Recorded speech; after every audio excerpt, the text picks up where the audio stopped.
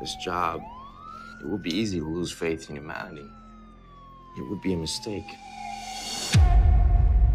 This is my son, Vincent. He's missing. We all have an unconscious self. Feelings sometimes serve me. I'd like to partner with Avi.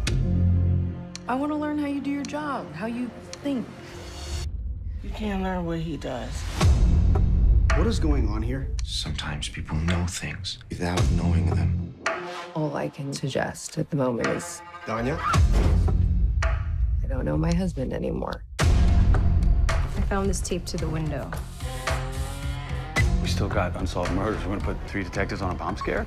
They're related. Something's missing. You feel it. Are you a good detective? I go to sleep with Vincent in my head, and I wake up with him in the morning. Ah! Do I need to take you off this case? I'm almost there.